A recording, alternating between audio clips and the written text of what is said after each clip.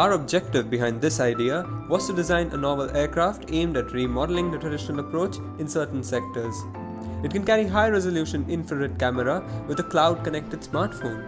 Thermal imaging report obtained can be presented with videotapes, aerial photographs, database creation, or any combination with utmost detail and complexity. Considering the limited mobility within forested areas, our plane can conduct wildlife population surveys through aerial IR imaging. This helps not only save time but also manpower and expenses. IR scans can also monitor the poaching activities in restricted zones. Color thermal scanning can map the variation of water potential in the field. Areas with less water retention in soils show higher ground temperatures. This modernizes and allows efficient distribution of the irrigational system. Aerial IR can also be used to monitor heated water or sewage discharges from the industrial power plants into the water bodies.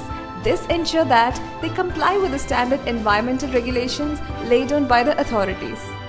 The IR camera can scan for temperature hotspots produced on solar panels that damage the cells. Engineers can then analyze and come up with required solutions.